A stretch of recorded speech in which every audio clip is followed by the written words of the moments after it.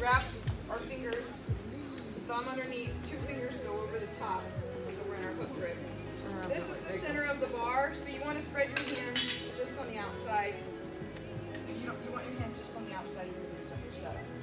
So the hang, again with grace, push the belly out to the sides and the back. You're gonna drop the bar down towards the knees. As you come up, pulling your chest behind the bar and you're using your hips to press the bar up in the air. So it's down, hips, catch. It's just like we just did with the ball a little bit ago. Now you're just doing it with the barbell.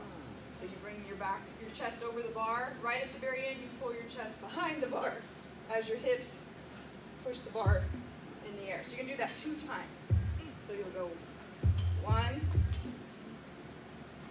two, then from here, you're gonna bend your practiced. Press the barbell up overhead. So you gotta use your legs on this one. So we wanna keep the ribs over the hips. I don't wanna see arching here. Keep the ribs and hips aligned. Drop the knees down as your hips come up. You extend the barbell overhead.